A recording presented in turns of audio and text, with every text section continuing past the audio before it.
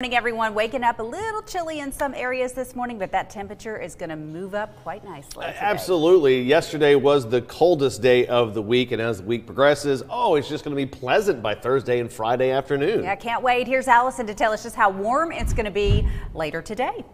Yeah, if we can make it through the next few hours, then you're going to be good to go for the rest of the day. Our temperatures are going to climb up really quickly once the sun comes up this morning. So still hovering that 30, 31 degree mark below freezing through 8 a.m. Sunrise is about 7:30 in the morning today. So we're going to have a big jump between 8 a.m. and 9 a.m. for those temperatures. And then notice by noon, 54 degrees. So really not too bad outside. Maybe just a light jacket is all you'll need. And then for the afternoon, especially if you're in that direct sunshine, we're getting to milder temperatures, a little bit above what's normal for this time time of year. 60 degrees at 3 o'clock and at 4 p.m. Very similar to yesterday. Plentiful sunshine today, maybe a few stray clouds here and there, those high thin clouds, so not making a big impact as far as the weather goes. You're still going to get lots of that sunshine, and that's what we're seeing this morning. So we had a couple of clouds that scooted on past Cherokee County. That's now out of the area. Clear skies across the Tennessee Valley right now. That high pressure is dominating, which brings us the nice weather. Now I'm going to pull back, give you a little bit of a bigger picture. There's this big low pressure system off to the north of us. Snow showers ongoing on on that northeastern side of it, you'll notice that cold front dragging behind it. That cold front's really going to fade out before it gets to our area, which means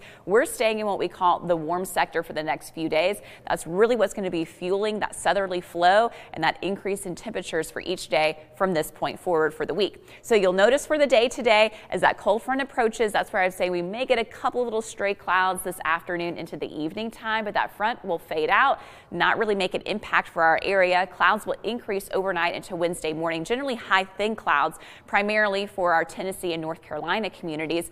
And then you're going to still get that sunshine mixed in for the day on Wednesday. Very slim chance. I don't even have it on the seven day forecast. There may be a spotty little sprinkle that develops for our far northern tier communities associated with this rain that you're seeing in Kentucky and Virginia, but that's mm, slim to none. So most likely you're going to stay dry on Wednesday and you're going to have another beautiful day. Thursday, more of the same, that warmth really building up to the upper 60s, mostly sunny skies. And we're going to continue that trend for Friday as well. So a nice day ahead for Friday. That's the day I think we may top out at 70 degrees. So if you like the warm weather, it's coming for the end of the week. We're also looking at dry conditions for the work week.